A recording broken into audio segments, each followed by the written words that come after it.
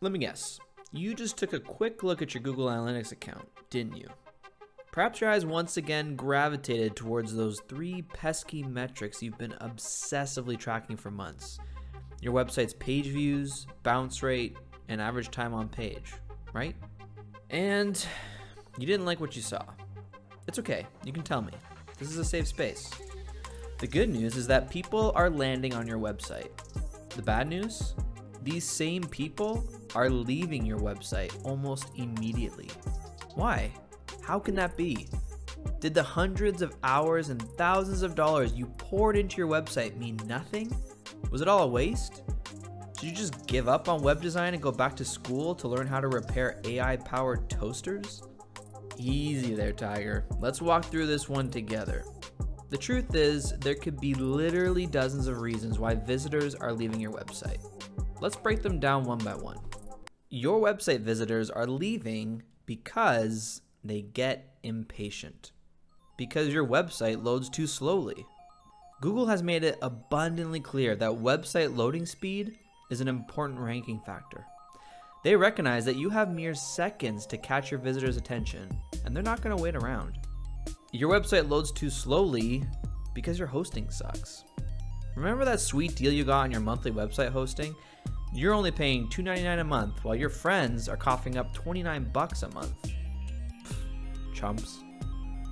Well, I hate to break it to you, but sometimes you get what you pay for. At $2.99 a month, you're scraping the bottom of the bucket in terms of web hosting. Your website shares a server with thousands of other websites and will be forced to compete for those precious server resources. If you get any decent amount of traffic, you're going to notice a difference, and so will your visitors. Cut out a few Starbucks lattes every month and invest in high quality, super optimized website hosting. Another reason your website loads too slowly is because your images are too large. This is one of the most common mistakes made by both web designers and bloggers alike. Uploading high quality images without optimizing them first is like trying to drive a speedboat while the anchor drags along the bottom of the lake. You're gonna have a bad time. Use a tool like Photoshop to reduce and compress every single image you upload to your website. Another reason why your website is loading too slowly is because your videos are set to autoplay. Autoplaying videos sucks up valuable resources and damages your website's user experience because they're annoying as heck. By all means, use videos, but make sure you give your visitors the option to watch it or not. If you can't create an enticing enough call to action to watch it, then you need to try harder. Another reason why your website loads too slowly is because your website isn't optimized for performance. A lot goes into making a website load blazingly fast. Even if you manage to do everything else right, and you avoided the common snares mentioned before, your website can still be poorly optimized for performance. Have you thought about things like caching on both server side and browser side, content delivery networks, reducing plugins, and simplifying code? Probably not which is why you should hire someone to optimize your website for you, or take the time to learn how to do it yourself. It will be well worth the investment. Your website visitors are leaving right away because they get bored. And they get bored because your content is organized poorly. Even if you have a website that loads quickly, you still need it to be, well, interesting. There's no time for a boring website here. And your content is organized poorly because you have huge walls of text. I'm not sure if you've noticed or not, but people don't read a whole lot of books these days. The era of reading page after page of nothing but text is long gone. As our attention spans continue to shrink with each binge watch we subject ourselves to, it's becoming harder and harder to hold a website visitor's attention. Writing a novel's worth of text in one overly long paragraph is sure to scare away even the most loyal of readers. Make your content less intimidating by breaking your text into super short paragraphs. I'm talking one or two sentences short. Keep it short and sweet.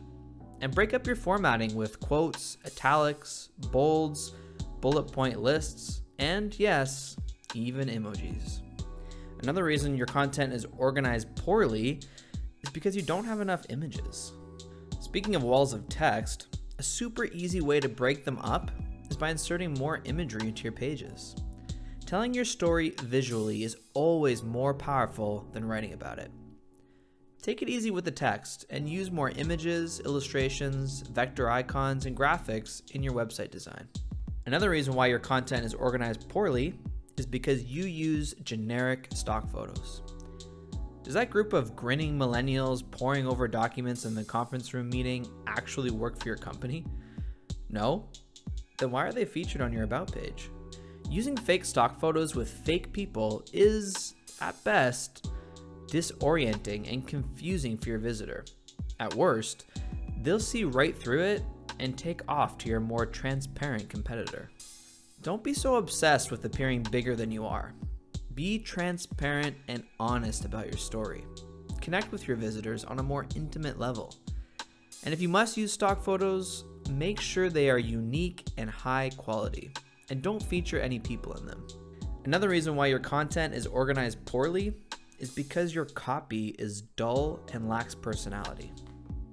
If someone walked up to you, introduced themselves, then began to ramble on about their age, relationship history, family situation, work experience, medical records, favorite type of pie, etc., what would you think? You'd be looking for the first opportunity to escape. For some reason, many web designers apply this same methodology to their websites.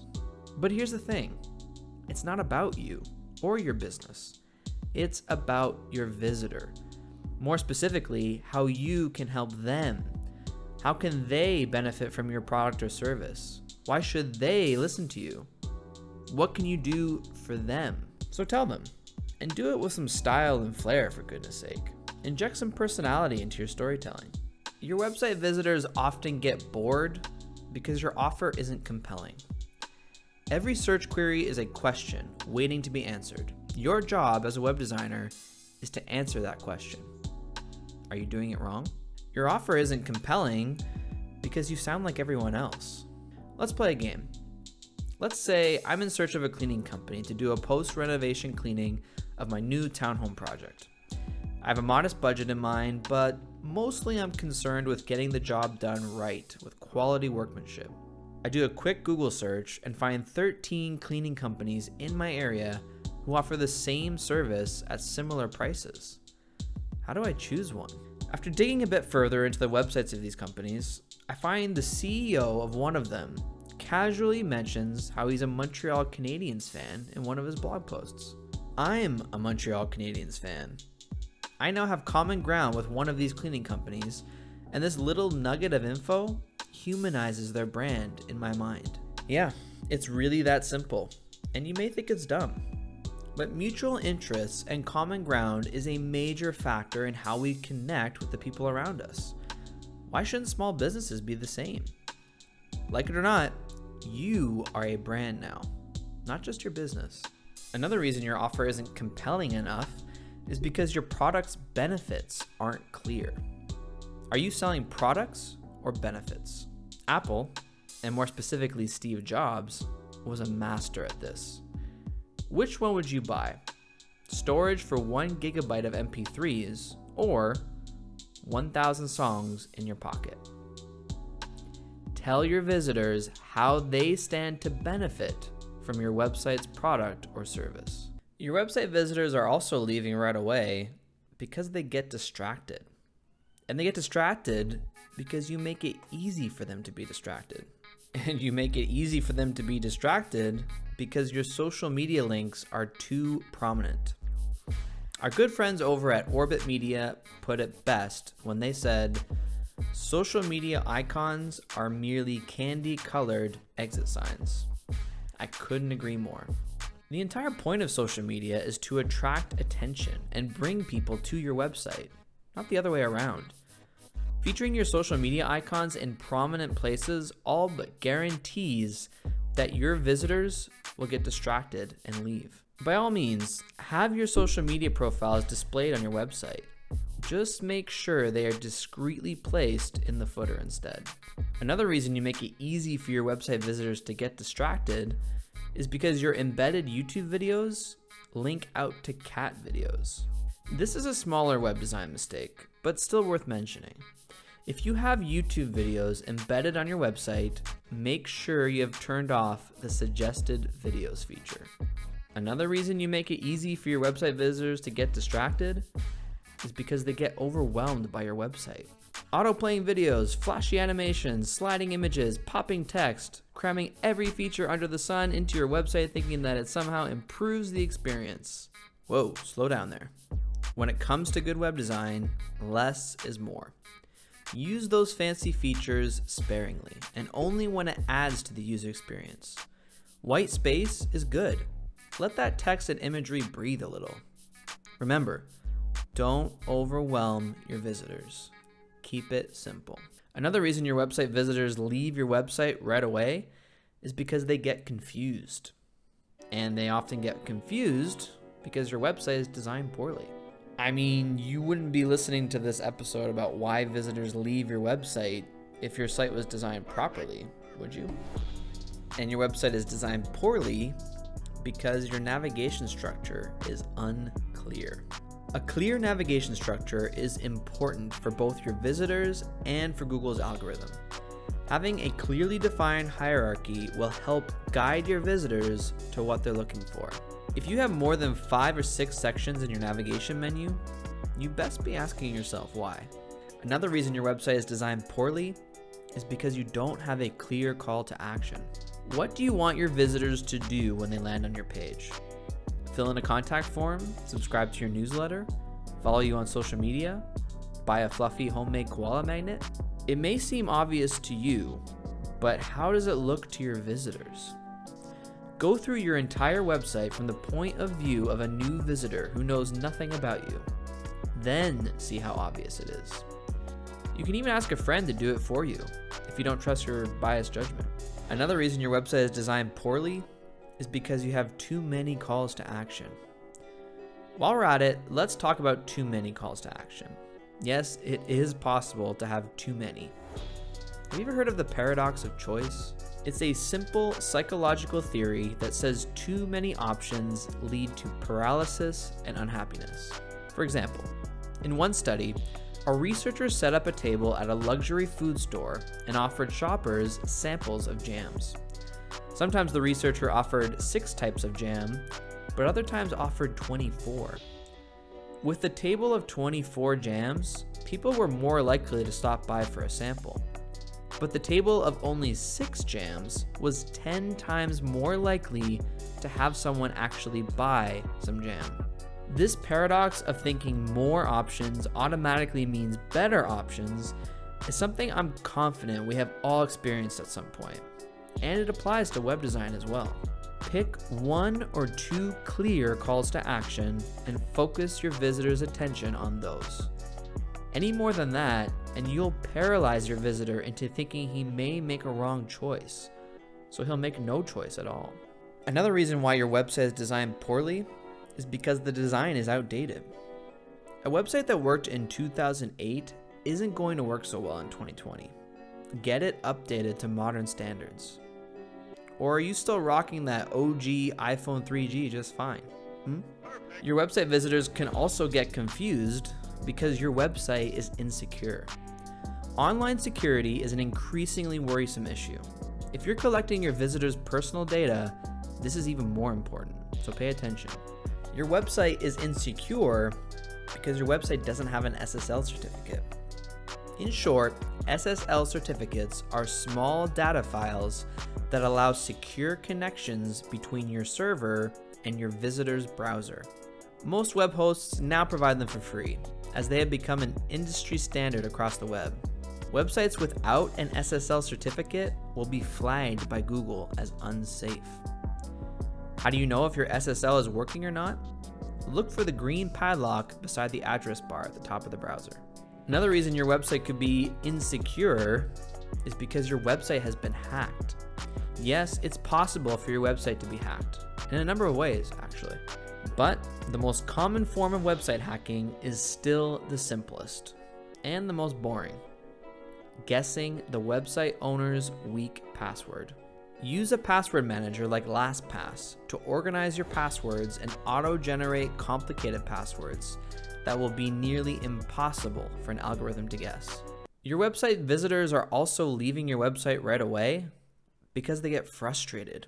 And they get frustrated because you destroyed your website's user experience. Why? Why did you do it? It's okay. I'm sure it was unintentional. Let's fix it. You destroyed your website's user experience because you're still using ads to monetize your website. In my entire life, I've met exactly one person who enjoys advertisements. We are no longer friends. Ads are nearly universally loathed. They destroy your website's UX and reward you with mere pennies to show for it. Monetize your website through literally any other method. Another reason you destroyed your website's user experience is because you refuse to get rid of obnoxious pop ups. I have written hundreds of blog posts. The dreaded pop up probably gets mentioned in about 63% of them. Visitors hate pop ups. Google hates pop ups. I hate pop ups. And they suffer from extremely poor conversion rates anyway. Removing all pop ups from your site is as much of a no brainer as removing ads is. Another reason you're destroying your website's user experience is because your onboarding process is excessive. Did you actually manage to get a visitor to sign up for your website service? Awesome. Did you then scare them away because you demanded to know what their little sister's favorite flavor of ice cream was? Not awesome.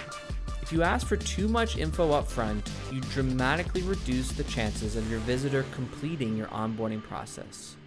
Keep it simple. Only ask for info that is absolutely necessary from the beginning. Typically, that means only their name and email. You can get the rest of the info once you've earned their trust. Another reason you might be killing your website's user experience is because your website isn't responsive. Stop me if you've heard this before. Your website looks amazing on the desktop, but when you take a look at it from your iPhone, it's a garbled mess. The majority of website visits already come from mobile, and that's only increasing year after year. If you're not designing your website to look great on any device and with a focus on mobile first, you're gonna have a bad time.